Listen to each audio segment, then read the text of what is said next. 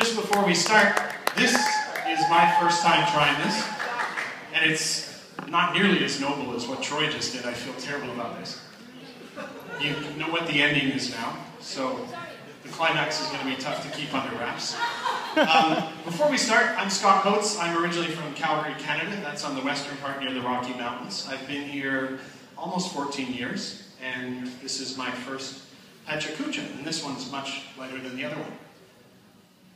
All right, so I was a bartender and a DJ when I was in university, and I studied radio broadcasting, and then I did journalism, and I was this close to becoming a TV news guy. And I had a drunken flash at one moment, a shot of Jägermeister, and I decided to move here in September 1999 with this guy on the bottom left, my friend Daniel Fraser. We went to high school together.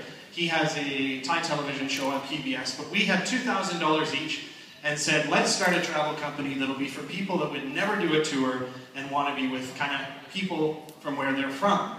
Show them around with a lot of hospitality and real insider's edge. So why did we come to Thailand? Well, my business partner had worked for the royal family here.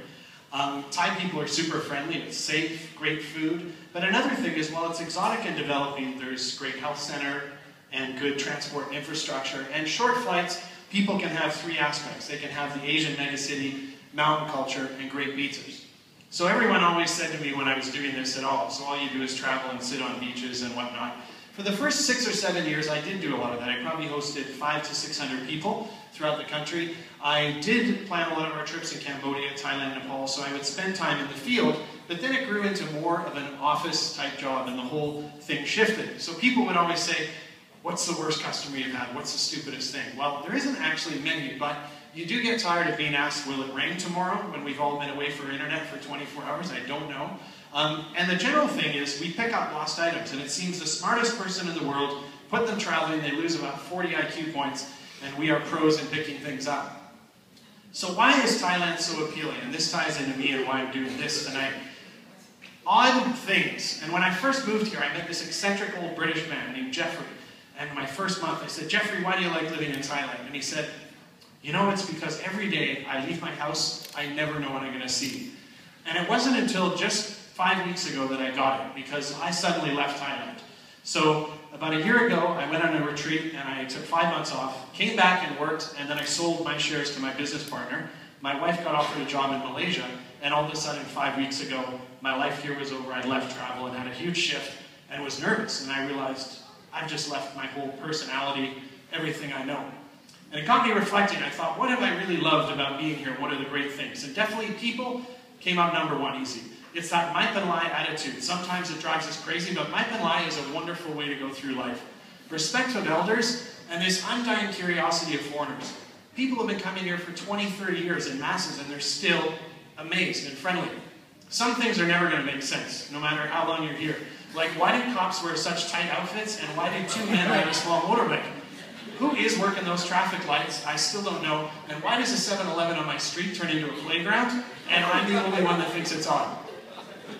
So one of the biggest things working in this industry did for me was kind of made me open to possibilities. I'm still not good at being open to things, but as we traveled, we ended up having these opportunities to do reach out programs and stuff I'd never done in Canada, never thought about, but I got into it by accident, and it's been the best part of being in Thailand and being the best part in this business. So when did I realize I was a local? I remember about seven years ago, I was on a 10K motorbike ride reading a book, and towards the end, I realized, man, I didn't even watch the road. Like, I'm reading a book. When you order ice with your beer most of the time, you're probably local. And when I stopped being shocked to see a pretty girl on a resume, but having a man's name, I also realized I was local. So things I'll miss. I really think Bangkok's got this cool combo of old and traditional mixed with modern conveniences. And somehow, it just all blends seamlessly, and that's really neat to have day to day. And then the Thai food. I've been gone five weeks, and Malay food is great, but Thai food is the best. It's everywhere. It's tasty. I love it. So you know you're a Bangkokian when these are things I've done. Milk, pancake, and golf aren't things and, and food products of your friends. You wear a bag on your head when it rains. You can actually win points by taking bugs home to your girlfriend. I've actually done that. And I pop my pimples in the elevator with everyone in the elevator with me. I'm not shy only in Thailand. There's lots of only here things. But the soi dogs with t-shirts is awesome. Like people can ignore them all year, but when it gets a little chilly, they get the t-shirts on people.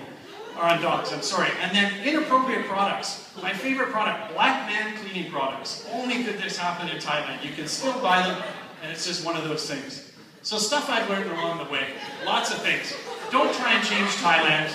Let it change you. I was guilty of complaining for a long time about weird things, but just embrace those things. And if you find you're complaining too long, probably time to go. Do not eat an ice cream on a motorbike taxi, it blows all over you.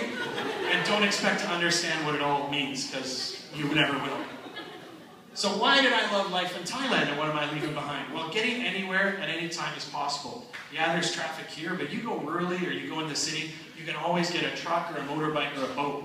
You eat at a table with a multimillionaire and a construction worker. It's a great hub for traveling. And man, Thais are easy going. You want to sleep? Have a nap. So I'm definitely a better person, and I still have a lot of work to do on these areas. But things that I've changed as a person and that are great, try not to worry about stuff you can't control. Try and smile more, which I'm still not good at. There is that I hate your guts smile, so just do that if you don't like someone. Control my temper, and again, the whole Mike and Lie thing is fantastic. People often say that I meant that just moved here, what should I do? And I think Thai script. It's not that hard to learn. And once you know Thai script, the whole country is your classroom. You can read the signs. It's a big one. Get fluent. I never got fluent. And a lot of foreigners, I find, myself included, never had those great Thai friends, and you can only get so deep without it. So that's what I would have done. So, I realized I'm kind of upset, I'm kind of figuring it all out, but this is going to be tougher for me to leave, I think, because I didn't have a 9-5 job. I traveled lots of the country. I got to know the history intimately, a lot of weird corners, and even something like the canals. I really like I biked on them, I ran on them, and those were things for me that were really deep and will only be here. So here's the secret shot at the end. Isn't it staggering? Parting shots. This is a wonderful country, and it's, I think all of us should realize the great thing, I don't think there's any country on earth you could come to and be yourself and do your thing with no one really being angry at you for it. That's a great thing. At the end of the day, I totally see now why every day you leave, you never know what you're going to see. So thank you, Thailand, and uh, you're all lucky to be here.